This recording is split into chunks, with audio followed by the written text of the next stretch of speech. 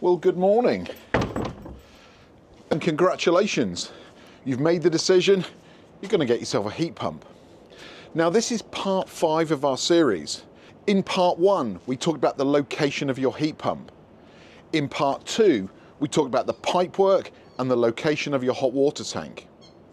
In part three, we talked about all things installation and getting an EPC done. Part four was all about electrical. And today, in part five, we're going to talk about radiators and finishing touches.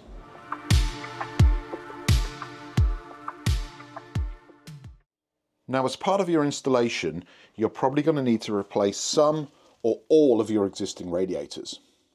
As you can see here, our front room radiator has been replaced with a large three vane radiator. Now it was important to us to make sure that it fitted into the existing space underneath the window.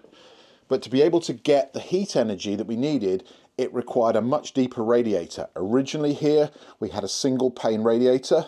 We've now gone to a triple pane radiator. Here in the hallway, we already had an existing double pane radiator. But as you can see, although we've still stayed with a double pane radiator, we've actually gone to a much taller model. This allows us again to get the heat energy required to heat the house and make sure that every room stayed consistently warm. Now one thing you will notice is that the copper piping is all left bare. Now it's up to you, some people will paint this to match the wall. Um, personally, I've been told before don't paint it because if you do need to make any changes to it, it can be a pain to get the paint off if you need to get in and, and redo any of the joints. They will also fit these TRV valves uh, to every single radiator. You do not need them, and in fact, the recommendation from my plumber was to leave these fully open. Otherwise, what you're doing is putting stress on the heat pump to try and force more heat energy into the radiator by closing these down.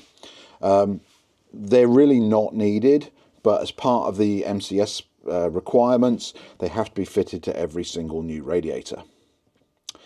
Now, one of the things you can do to uh, to cover up the copper piping there is on Amazon, um, in B&Q and places, you can get these kits that allow you to put basically plastic white sleeving over the pipes to make it look a little nicer. And in fact, we'll head upstairs now and I'll show you one that I've already done in my bathroom.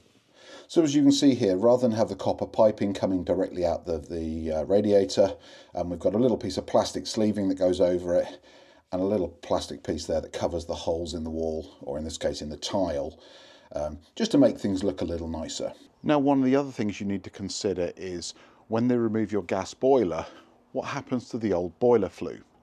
Now in my case we had quite a large boiler flue, um, you can see by the new bricks there the size that the hole in the wall that was left behind. So it really wasn't a, a simple case of just bung in some uh, expanding builder's foam and block the hole up. In this case, they did actually come along. Um, there's two rows of bricks in there. It is sealed in nice and neatly. Now, I'm sure the builders out there are saying, well, why didn't they tie in the bricks properly?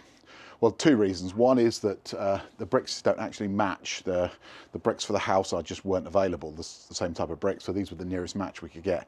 And later on next year, when we remodel the kitchen, our plan is to put a door here anyway. So um, that was a perfectly good uh, fix as far as we were concerned. Now, if you've got a small flue, a hole, I have seen a number of installations where they've basically squirted some uh, expanding foam into it and put a fake uh, cover on the outside wall. Personally, I think that's a pretty poor way to seal it up.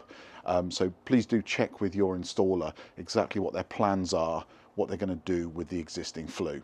Now, another thing to consider is where is your thermostat going to go? Most installations, I would imagine, are probably going to be a single zone for the whole house.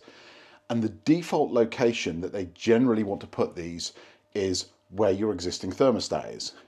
In most UK houses, certainly in most modern build houses, the thermostat seems to be in the hallway close to the front door. Generally, this is one of the colder parts of the house because the door gets opened and closed quite a lot. So this thermostat here will obviously read the temperature in this part of the house and it means that the rest of the house might be slightly warmer. Really the best place for this is in the room that you're going to be inhabiting most of the time. So in your front room or your dining room or wherever it is that you as a family live. Don't just assume that because you had a thermostat there before, that's where it's got to go. Talk to your installer, find the ideal location for your thermostat. So one last thing to consider is your installation is going to take anywhere from four to five days, most likely. At that time, you're going to have plumbers and electricians and maybe other workmen all on site. So think ahead, where are they going to park? You may need to find parking for three to four vans um, outside close to your house because they're going to need to be able to get access to those vans. Now we're in a fortunate position, we've got a large number of private parking spaces at the front of our house but maybe if you're on a street, if you don't have uh, your own parking, maybe consider it, talk to your neighbours, um, figure out where the, everybody's going to park because you really don't want to be upsetting your neighbours whilst you're having your heat pump installed. That's it for this video. I hope you found this video and this entire series useful. If you are considering getting a heat pump, these are just a few of the things that having had the heat pump installed and lived with it for a little while that I've learned that might make your journey just that little bit easier. It just remains for me to say thank you for clicking on this video. And if I'm lucky, I'll see you back here real soon for another one. Take care. Bye-bye.